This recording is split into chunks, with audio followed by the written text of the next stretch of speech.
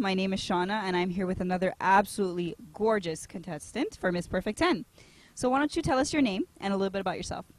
My name is Rubi, and um, about me. So, uh, right now I'm in psychology. I'm working with uh, children, and that's my future goal to work with children.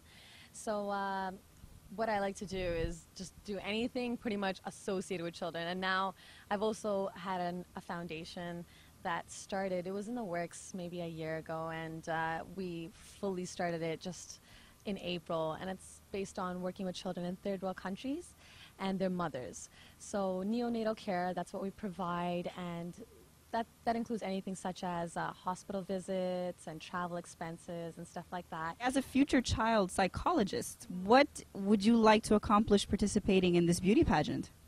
Well, I gotta say that um, by doing this, I know I'll have a lot more exposure. So already, just from being in this pageant for this much, this time, since January, I guess, I've had so much exposure. I've had a lot of local artists, artists, sorry, um, working with me and um, helping me out to get uh, children helped out, not only in our community here, but also third world countries. So it's any way that I could help and give back to children. That's what I'm gonna keep working towards, and that's what I'm striving towards.